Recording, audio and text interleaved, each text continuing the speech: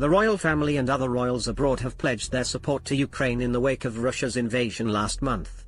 Here are five of the most powerful royal statements made against Russia in recent days. Vladimir Putin has been widely condemned for orchestrating Russia's invasion of Ukraine in late February. But as the country grapples for its freedom, Ukraine has been able to count on global support, with several royals across the world voicing their support, including Prince Charles and the Duke and Duchess of Sussex. Prince Charles condemned the brutal aggression of Russia's attack on Ukraine while visiting Essex earlier this week. Speaking as Southend-on-Sea was due to be granted city status in the wake of the killing of MP Sir David Amess, Charles said, What we saw in the terrible tragedy in Southend was an attack on democracy, on an open society, on freedom itself. We are seeing those same values under attack today in Ukraine in the most unconscionable way.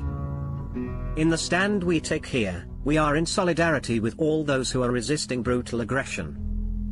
King Willem-Alexander and Queen Maxima of the Netherlands.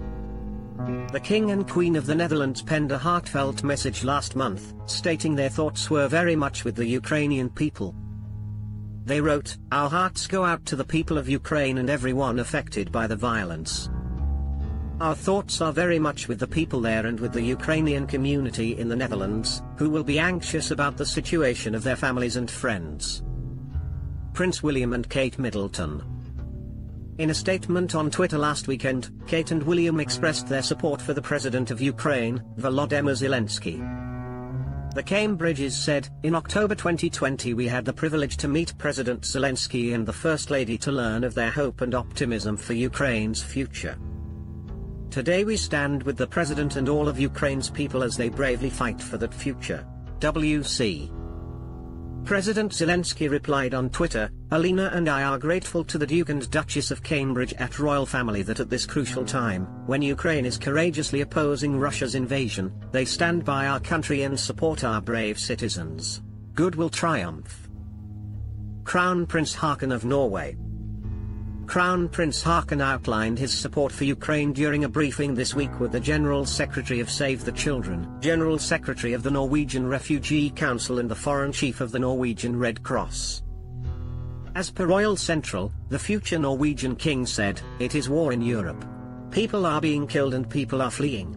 But there are also many who fight and resist. It is important that we take care of each other, and that we preserve our humanity and that we see people as they are, people. Both Ukrainian and Russian people should feel safe in Norway.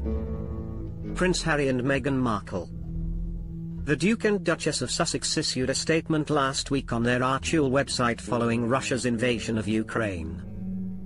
Harry and Meghan encouraged the world to stand with the people of Ukraine in a short but poignant message.